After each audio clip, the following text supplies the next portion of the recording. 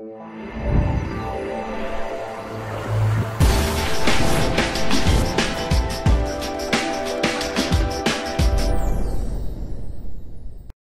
up guys, this is Stick with Fallen Elite and we are now a level 9 clan. Yes, that's right, Fallen Elite has become elite.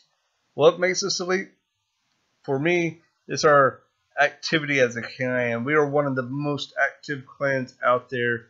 Anytime you sign on, more than likely, you're going to see activity within the chat.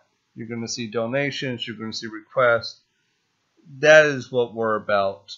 However, we have also become an extremely good war clan, and we do a great job in coming up with attack strategies and coming up uh, with strategies that work for each base. So, for example, today I have a replay that is going to show a base that is set up perfectly for the Govaloon strategy. So let me go ahead and dive into that replay now.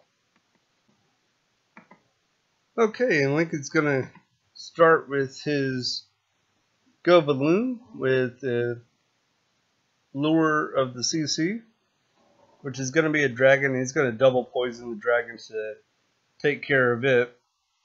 And then he's going to start out by creating a funnel uh, with a few minions at 6 o'clock. And he's also going to place a archer on the builder hut at 9 o'clock.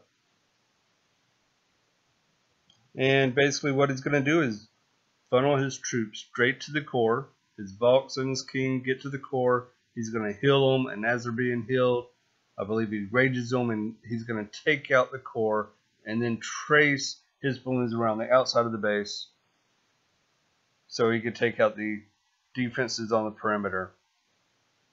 So he starts with the funnel with the minions at 6 o'clock, and then he drops down his uh, golem and his queen to take out the enemy queen and start the funnel from the other side.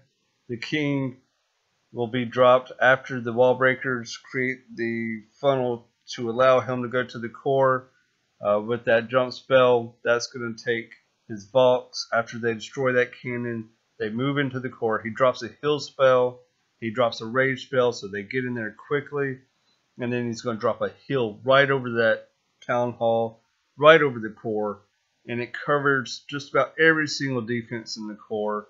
Uh, extremely well placed heal spell.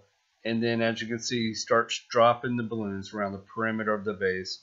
He drops two per archer tower, and he drops one per cannon, and two on the wizard towers as well. And it is just too much for the base to handle all at once. Uh, he precisely placed the balloons down, and there was too many targets for the air defenses around the perimeter handle, and of course, the balloons just overrun the base. He still has uh, wizards for cleanup and with his queen, and the king is still alive. He cleans up the base. Extremely well executed attack, and that is another reason why Fallen Elite is an elite clan. Not only an elite clan, but a very good war clan. And with that said, I'm out. Ciao.